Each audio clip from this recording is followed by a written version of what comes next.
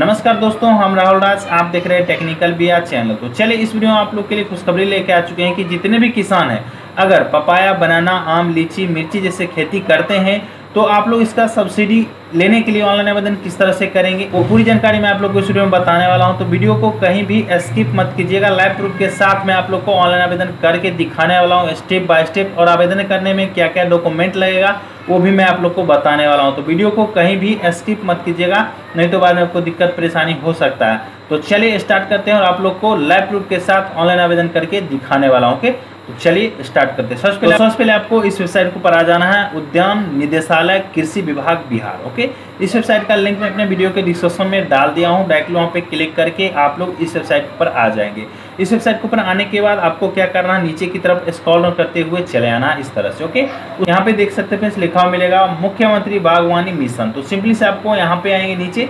यहाँ पे देखेंगे फ्रेंड्स लिखा हुआ मिलेगा आपको आवेदन करें। तो सिंपली से आपको आवेदन करें पे क्लिक करना है। तो चले मैं इस पर क्लिक किया।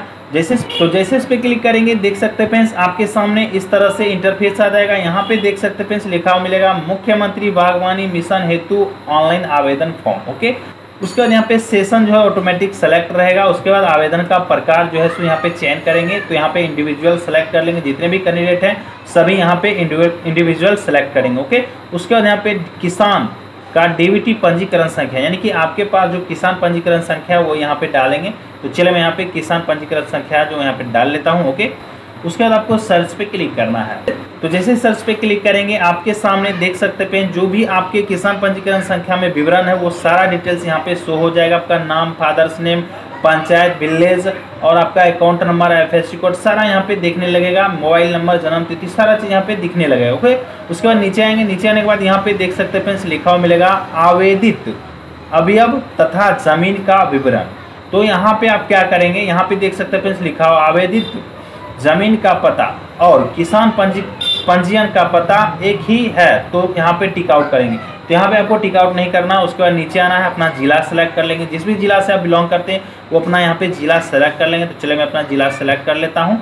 उसके बाद यहाँ पे पेज लोडिंग लेगा उसके बाद यहाँ पे अपना प्रखंड सेलेक्ट कर लेंगे, उसके बाद यहाँ पे पंचायत सेलेक्ट कर लेंगे, जो भी पंचायत आपका है, यहाँ पे सेलेक्ट कर लेंगे, उसके बाद अपना गाँव सेलेक्ट कर लेंगे, गाँव का नाम, उसके बाद अपना पिन कोड यहाँ पे डाल देंगे, उसके बाद यहाँ पे मैं आप लोग को बारीकी से समझाने वाला हूँ, यहाँ पे अवयव का जो नाम है, यहीं पे आपको जैसे कि पपाया, बनाना, आम, लीची, मिर्ची, जो भी आप खेती करते हैं, उसके लिए यहाँ पे अवयव में ही सेलेक्ट करना है ओके तो चलिए इस पर क्लिक करेंगे, इस पर क्लिक करने के बाद देखेंगे फ्रेंड्स यहाँ पे banana seed spice and rhizomatic spice other automatic plants उसके बाद मैंगो लीची और गौवा, जो गौवा का खेती करता है। ओके तो यहाँ पे चलिए मिर्ची के लिए आवेदन करना चाहता हूँ। तो मैं यहाँ पे सेड स्पाइस एंड जोमेटिक रोहित जोमेटिक स्पाइस पे क्लिक करेंगे। तो चलिए इस पर क्लिक किया। इस पर क्लिक करने के बाद ऑटोमेटिक पेज लोडिंग लेगा, उसके बाद नीचे आएँगे। अपना यहाँ पे रैयत, ज़मीन का प्रकार सेलेक्ट कर लेंगे। रैयत है या गैर रैयत रैयत है तो यहाँ पे सेलेक्ट करेंगे। रैयत पे, और यहाँ पे खाता नंबर, जो आपका रसीद है, उसका खाता नंबर, खेसरा नंबर, उसके बाद यहाँ पे देख सकते हैं लिखा मिलेगा रकबा एकड़ में। तो यहाँ पे आपको क्या करना है, इस बॉक्स में रकबा डालना है, ओके? तो रकबा आपको एकड़ में डालना है, ओके?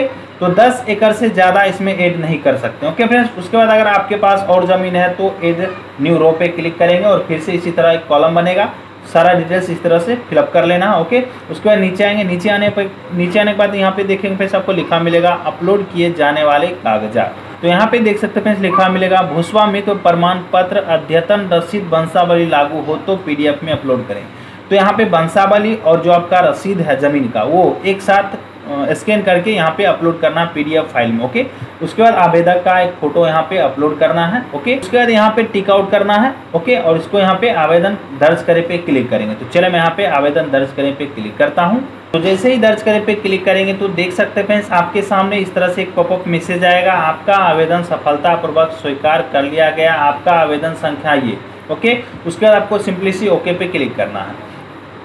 तो जैसे ही ओके पे क्लिक करेंगे, देख सकते फ्रेंड्स, आपके सामने जो आपका रिसीविंग है, वो आपके सामने शो हो जाएगा। ओके फ्रेंड्स, इस तरह से, ओके? उसके बाद आपको क्या करना है, यहाँ पे प्रिंट रिसिप्ट पे क्लिक करना, ओके? तो चलिए यहाँ पे प्रिंट रिसिप्ट पे क्लिक करके प्रिंट कर लेना, ओके?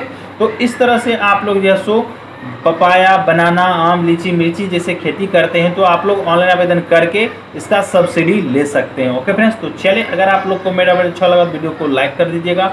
इस वीडियो को अपने दोस्तों फैमिली में शेयर कर दिए ताकि जिस कैंडिडेट को पता नहीं है इस योजना का लाभ किस तरह से लिया जाता है तो वो अपना ऑनलाइन आवेदन करके इस योजना का लाभ ले सकते हैं। ओके तो चलिए, मिलते हैं नेक्स्ट वीडियो तब तक के लिए जय जय Bharat. Thank you for watching